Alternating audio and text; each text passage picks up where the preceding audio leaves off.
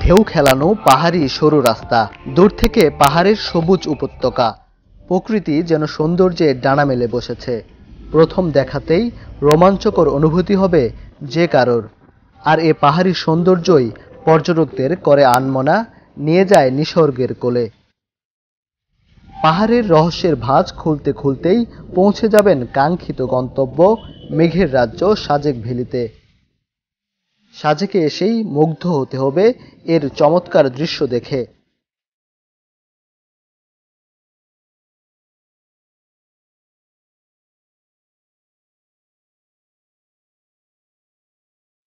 যতদূর চোখ যায় শুধু অপরূপ সবুজ ঘেরা পাহাড়, আর এ পাহাড়ের ভাজে বাজে ভেসে বেড়াচ্ছে সাদা মেঘ, যেন পাহাড় আর মেঘের এক গভীর মিতালি।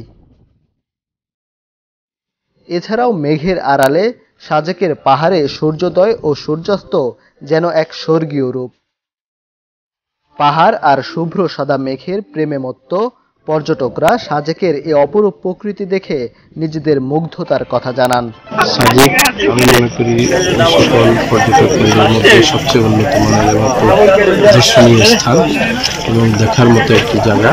সাজেকের যে পরিবেশ এবং প্রাকৃতিক যে দৃশ্য, খুবই মনোমুগ্ধকর, খুবই সুন্দর। খাগড়াছড়ি থেকে সাজেক আসার পথে যে আঁকাবাঁকা পাহাড়ি রাস্তা, সরু রাস্তা চান্দের গাড়িতে করে মানুষ যাতায়াত করে, সেই রাস্তার দেখার জন্য বা মনোমুগ্ধ করে রাস্তাতে যাতায়াত করার জন্য মানুষ বারবার ছুটে আসে।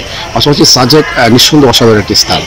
আপনি যেখানে সকালবেলায় সাজেকের সৌন্দর্য একরকম বর দুপুরে সৌন্দর্য একরকম আবার গভীর রাতে সৌন্দর্য একরকম সাজেক ভ্যালির অবস্থান রাঙামাটির বাঘাইছড়ি উপজেলা হলেও যাতায়াতের জন্য পর্যটকদের খাগড়াছড়ির দীঘিনালা সড়কটি ব্যবহার করতে হয়।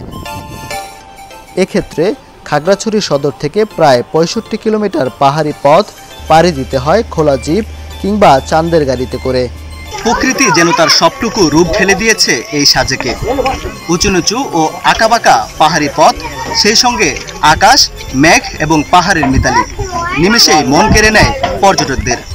Obaidul Haque, Barta twenty four dot com, Sajek, Rangamati.